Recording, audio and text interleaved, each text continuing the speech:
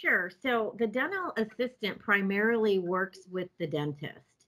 So the, the dental assistant can can perform functions such as taking radiographs, which are X-rays, which the students will learn in our program, um, making temporary restorations for the providers, actually assisting chairside, um, scheduling appointments, uh, making sure the rooms are turned over. There's a wide range of skill that the dental assistant does for the operator and for the uh, you know for the dental practice.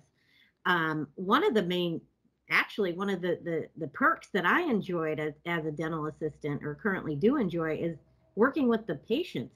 So you learn you learn professionalism and bedside manner and and how to interact with with the patients because the ultimate goal is patient care and so there's even psychology plays a role in in dental.